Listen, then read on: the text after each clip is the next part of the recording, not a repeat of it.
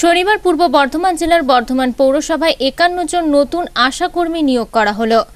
এদিন নিয়োগ হওয়া আশাকর্মীদের হাতে নিয়োগপত্র তুলে দেন পুরসভার পুরপতি পরেশচন্দ্র সরকার।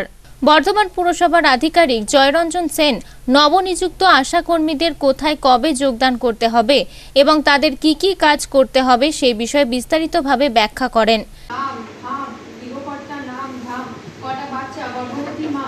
সমস্ত আপনাদের লোকদর্পণে থাকবে আসবে। আপনারা হচ্ছে ফিল্ড ওয়ার্কার মানে আপনারা ফিল্ডে ভিজিট করে প্রত্যেকটি বাড়ি বাড়ি গিয়ে আমাদের থেকে সরকারের থেকে যা গভর্নমেন্টের যা অর্ডার আসবে, সেই অনুযায়ী আপনারা কাজ করবেন। সেই কাজে চলতে গিয়ে আমাদের থেকে যতগুলো যতটা সহযোগিতা সম্ভব, আমরা আপনাদের সমস্ত সহযোগিতা করব, আমরা এক্সপেক্ট করব আপনারাও আমাদেরকে সহযোগিতা করবেন। কাজটা খুবই ভালো কাজ, কিন্তু কাজটা কিন্তু খুব তৎক্ষণাৎ করতে হয় হেলথ তো স্বাস্থ্য রিলেটেড কাজ স্বাস্থ্যের কাজে কোনোদিনও ডিলে করা যায় না। তাই হয়তো গভর্নমেন্ট থেকে অর্ডার দিল যে আজকে এক ঘণ্টার মধ্যে হয়তো কোনো রিপোর্ট চাইলো সেটা কিন্তু একটু দিতে হবে। নিয়োগ সংক্রান্ত ব্যাপারে। এদিন নিয়োগ সংক্রান্ত ব্যাপার নিয়ে পুরপতি পরেশচন্দ্র সরকার জানান। পৌরসভায় একান্ন জন অনারারি হেলথ ওয়ার্কার এদের তবে সংক্ষিপ্তভাবে বলা যায় H H W honorary health worker হিসেবে মানে মূলত এরা আশাকর্মীরা যেমন বাড়ি বাড়ি ঘুরে ঘুরে স্বাস্থ্য সংক্রান্ত বিষয়ে প্রত্যেক মানুষের বিবরণ, খবরাখবর রাখে, এরাও শহর এলাকায় সেই কাজটাই মূলত করবে এবং এই একান্ন জন আমাদের নিয়োগ হওয়ার ফলে আমাদের স্বাস্থ্য দপ্তরের কর্মীর সংখ্যাও যেমন অনেক বাড়ল।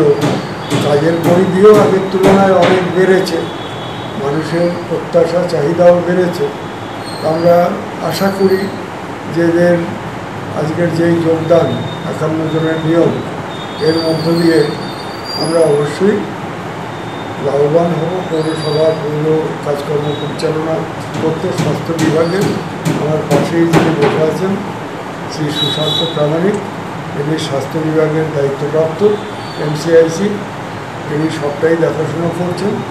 তা কাজেই আমরা অনেক দিন পরে পঞ্চাশ একান্ন জন লোককে সরকারি অনুমোদন নিয়ে আমরা এদের নিয়োগপত্র দিয়েছি। এই কথাটা আপনাদের মনে রাখতে হবে। এরা কিন্তু সব গভর্নমেন্ট অ্যাপ্রুভ কাজেই এরা পৌরসভা থেকে সরকারি নিয়ম মাফিক নির্দিষ্ট হারে যে ভাতা এদের বন্দোবস্ত আছে সেটা তারা পাবেন। তারা আমাদের কাজকর্ম যেভাবে আমাদের হেলথ অফিসার বা হেলথ ম্যানেজাররা যেভাবে বুঝিয়ে দেবে, তাদের রেসপন্সিবিলিটিস তাদের ফাংশনস তাদের ডিউটিস তারা ঠিকমতো পালন করবে।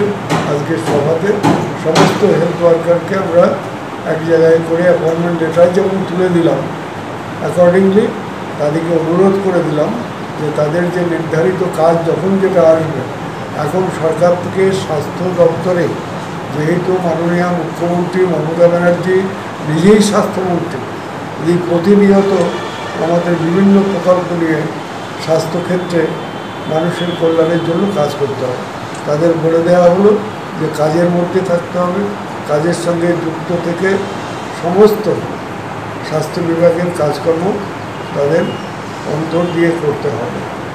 বর্ধমান থেকে টিঙ্কু সাউয়ের রিপোর্ট আনন্দ বার্তা